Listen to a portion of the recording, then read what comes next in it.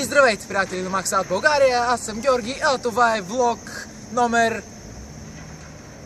Някой си поред. Така, да. Може би много от вас се чуят какво става с влоговете и как стоят нещата като цяло покрай Max Out България. Е, няма какво да се лъжим, от около два месеца, че да не е и повече, нямаме влог, за което изключително много се извиняваме, но в момента вече всички сме първа смяна, което само по себе си говори, че ще има много влогове. Нашия колега, така обичаният AK Коло всичкото, ще се вземе да а, направи колкото се може по-добра обработка и като става въпрос за това, нека видим нещо кратичко, което той експериментира набързо.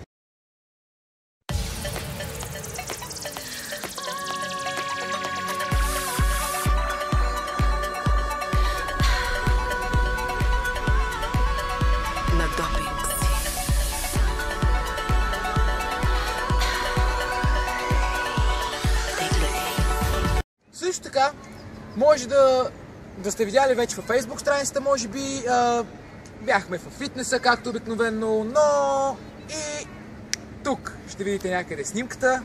Също така искам да обърна внимание и на един giveaway, който ще бъде направен. Тоест има няколко, но ще започнем от а, така, може би най-значимият, поне според мен, понеже играта все още е в бета версия. Именно това е играта Infinity Crisis. Както може, може би всички от вас я знаят, които са запознати с ам, този жанр игри или които просто играят игри, а може би не играят. Та играта все още е в а, бета и по-точно затворена бета, затворен бета тест което само по себе си говори, че не може да се играе, ако нямате ключ. Записването този път ще бъде малко по-различно и ще бъде във Facebook страницата. Ще намерите пост, в който ще е постнато нали, да се записвате и всеки един от вас трябва да напише аз искам играта. Това влогче като цяло е доста бързичко, доста така, виждате, започва да се смрачава и някакси не се получава много добър оттенък върху мене. Добрата новина в случая обаче, че ще има доста по-често вече влогове. Също така сме замислили да направим и а, наше собствено студио, затова в момента няма и Max Out TV, затова няма и влогове. Също така днес е изключително приятен ден, изключително топло е. Та да се върнем на въпроса с студиото, дори зам- замисляме да закупим и подобаваща техника.